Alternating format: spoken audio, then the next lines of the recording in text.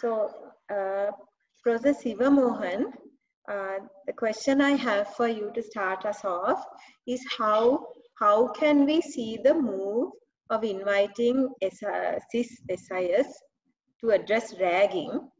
And uh, how can we view it? And if we think that it is not okay what uh, how can we stop it? Thanks. Okay thank you shamla professor kumar. Um, well the simple answer to the introduction of uh, in intelligence to combat ragging is a very clear and loud no there can be no uh, compromise on that um, why? Well, I mean, it, it's clearly a violation of democratic practice in the universities.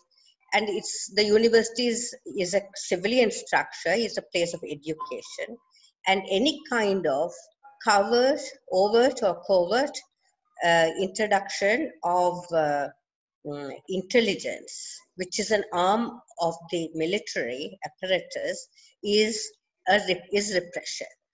Is it, it is repression uh, as well as part of will lead to further repression. The introduction of CIS is part of the militarization of civilian structures that is ongoing. We have military training in leadership uh, uh, education in universities and schools we had had. Then we protested at the universities, and there's a move to reintroduce that. We have mil military, somebody saying that the military is uh, talking about how to combat COVID instead of medical professionals. I mean, we have seen this move toward militarization in uh, uh, recent times, starting with the war and in, in, in different ways but uh, now it's seeping much more and more into the civilian structures. So, so it's a very clear no. The other thing is handing over the problem of ragging to CIS points to a lack in the university system, and that lack that is becoming more and more apparent. It's also a crisis for the university system. The university is being infantilized and being rendered helpless it has created this for itself by not taking any kind of responsibility for ragging but it also is part of another culture overall culture where the university has become a, a very subordinate and subservient uh, it's playing a subordinate and subservient role to the other authoritarian structures in uh, in governance. So very quickly then we're ragging what do we do then? Let me very quickly say something. That ragging is a manifestation of a deep-seated problem that necessitates two kinds of responses. There could be more, but I'm just outlining two. Disciplinary. I mean, I mean, we cannot get around the idea of disciplines. You know, people violate, people do harm, people terrorize other students. You know, there would be disciplinary rules, laws, procedures. But such, but I will follow this up very quickly with such invocations of law have to take place within a democratic setup for any kind of lasting solution. We have to then locate the problem in the right place. Ragging, though egregious, extreme and clearly wrong, is an illegal thing, is possible only within a structure of undemocratic and uh, undemocratic hierarchy. And this hierarchy is not just about senior students and junior students, but students and staff and or students and administration, but staff and higher administration as well. And then the administration staff and the UGC. In one sense, I would say that the, the UGC and the university hierarchy, that's the main culprit. Why have we not done anything about this before? And the university hierarchy authorities are washing their hands of the problem by saying, okay, come in here and do something about it. Ragging is clearly wrong.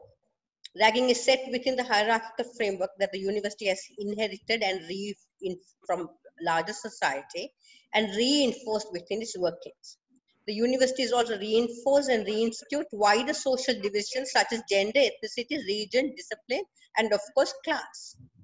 Ragging is an act that exploits this and reassembles this among the students. And ragging is a means by which student university administration student staff relations are mediated. We need to locate the problem in that right in that place. I very quickly I would mention five groups that need to get their act together and that need to form relationships either in opposition or in collaboration. One is the academic staff. I think the academic staff are vital. And they need to be organized in opposition and in support of defense. Through active participation and, and ideological participation, the academic staff needs to be involved. Cancel, I'm just kind of saying some things in, in terms of what, what can be done. Cancel the week's classes and do only sit-ins and teach-ins this does not eradicate ragging and it might create tensions within the university, but it could strengthen women, anti-raggers, socially minded staff. It would expand the space for dissent. Semi counseling sessions hold, uh, should be held du during the first semester. Make available counseling for students in safe places and in halls of a safety outside the university or some safe place. I'm just throwing these things out. Administration has washed its hands of this problem for their complicity in this.